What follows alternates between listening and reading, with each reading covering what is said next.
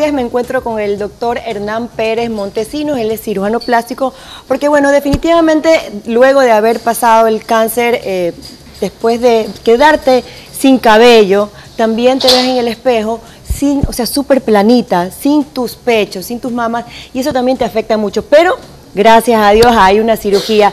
¿En qué momento una mujer ya luego de haber atravesado el cáncer y haber superado este, este problema, en qué momento ya está apta para esta cirugía y poder quedar, digamos, como nueva, como antes?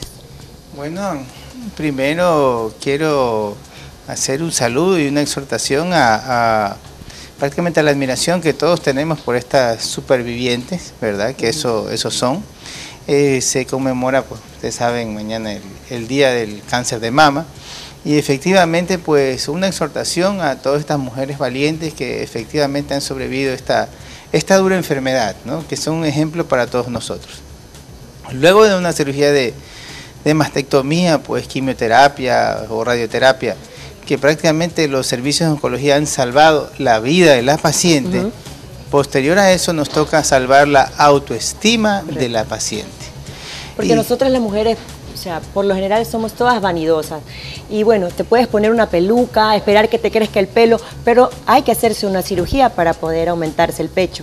Indudablemente. Entonces, es un proceso largo, porque es un proceso que, podemos dividirlo en tres fases. ¿ya? Después de la cirugía de mastectomía, pues habrán visto en, muchos programas de televisión o lo han explicado artistas o a veces en redes sociales. Como ven, la mama queda sin mama, se ve el, tórax totalmente plano y una incisión muy larga donde pierde por lo generalmente el pezón que atraviesa todo el tórax.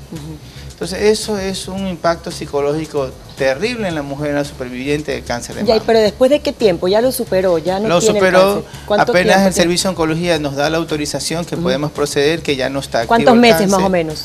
Por lo menos tres, seis meses. Tres, seis meses. Hay veces que se puede hacer incluso la, reparación inmediata. Inmediata. Cuando el, eh, caso, está. el caso está apto, sí se lo puede hacer inmediato, pero lo normalmente es que se lo haga en diferido. Pero pero puede ser el caso de que reaparezca el cáncer. Bueno, eh, eso más tendría que verlo el servicio de oncología. No es muy frecuente. Pero no tiene nada que ver con la cirugía. No, es porque me voy a operar, no. Eh, me puede pasar algo. No, no corre riesgo.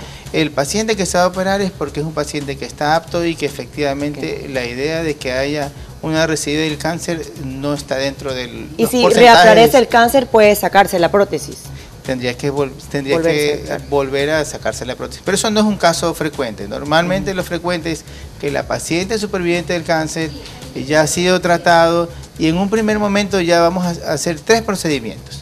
El primer procedimiento donde vamos a poner un expansor tisular.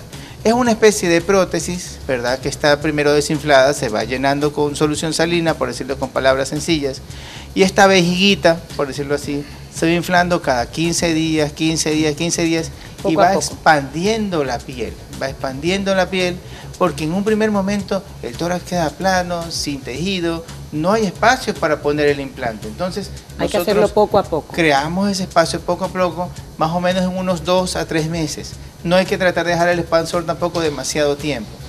Posterior a ello, ya la paciente, digamos que ya se ha llenado con unos 300, máximo 350 por lo general, ¿verdad? ya se hace el cambio por el implante definitivo. Ya es un implante de gel de silicón cohesivo. Y antes, previamente, había la utilización de injertos de piel para crear luego la areola y el pezón, porque la, la paciente en este caso solamente con verse el volumen de su mama no es suficiente. Ella para sentirse femenina, para sentirse mujer, quiere verse el pezón. Ah, Indudablemente la areola. Y recordemos que lo pierde. Entonces, actualmente... No solo es el pues, tamaño, sino también... También quiere verse pues su areola, su pezón, para sentirse mujer, indudablemente. Entonces, ahora hay técnicas eh, mucho más sencillas, que son prácticamente como un tatuaje, es una micropigmentación, donde se ah, tatúa la areola. Ah, se puede tatuar. por supuesto, y queda casi perfecta y luego pues con una especie de... La sensibilidad se pierde de pronto. Sí, obviamente, indudablemente. doctor. Y, luego pues eh, se hace una jareta y se forma un nuevo pezón, de una manera... visualmente puede quedar muy bien. Muy bien, queda muy bien. Muchísimas gracias, doctor. Realmente ha sido muy valiosa su visita hoy. Eh, bueno, para todas las mujeres que están padeciendo de esta enfermedad, bueno, lo importante siempre es detectar a tiempo. Por suerte, este cáncer, el cáncer de mama, se puede operar y puede rehacer su vida y estar perfecta eh, como antes. Así que recuerden siempre tocarse y detectar puede salvar su vida.